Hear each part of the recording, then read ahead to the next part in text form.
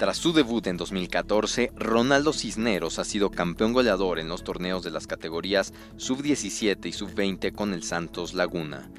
Otra muestra de su letalidad frente al marco rival es que obtuvo el título de máximo romperredes en el campeonato de CONCACAF de este año.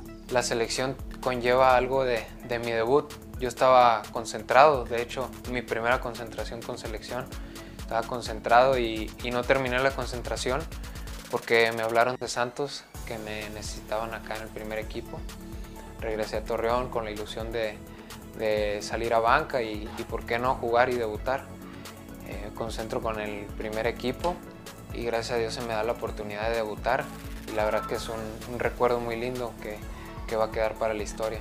Ronaldo, quien fue bautizado así por su padre en memoria del fenómeno cuando jugaba en el Barcelona, es un goleador en formación, pero su mentalidad de triunfo y calidad humana está a prueba de cualquier circunstancia. Siempre voy a estar contento que esté en la selección.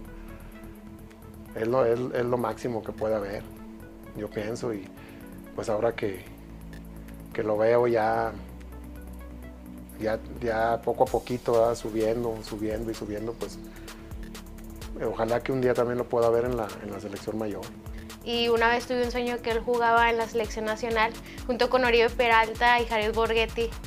Y, desde ahí fue que yo dije, a lo mejor Ronaldo algún día podría ir a la selección. Pues él siempre, siempre que se fija una meta, siempre la cumple. Siempre hace todo lo posible, trabaja, tiene fe. Es lo que también siempre nos inculca, mucha fe, tener siempre mucha fe. Y siempre nos dice cosas muy bonitas que dice la Biblia. Él ha respondido a todo, he sembrado y Él me ha dado frutos.